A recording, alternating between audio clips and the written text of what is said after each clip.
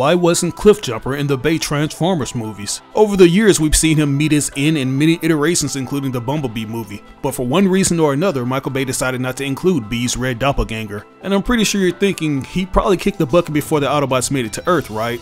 Well, kinda, but not really. Cliffjumper was part of an Autobot assault team on Mars under the command of Arcee. Together with his teammates, he attacked the Decepticon warship Nemesis, but they were unprepared for Thundercracker's sonic weaponry. Saved from certain doom by Arcee, Cliffjumper turned the tides on the Decepticon, only to be shot in the back by Starscream. Arcee attempted to evacuate him, but was struck down by Starscream instead, leaving Cliffjumper's future looking grim. However, Soundwave only found two dead Autobot corpses, neither of them belonging to Cliffjumper. So maybe he survived and just disappeared. This could explain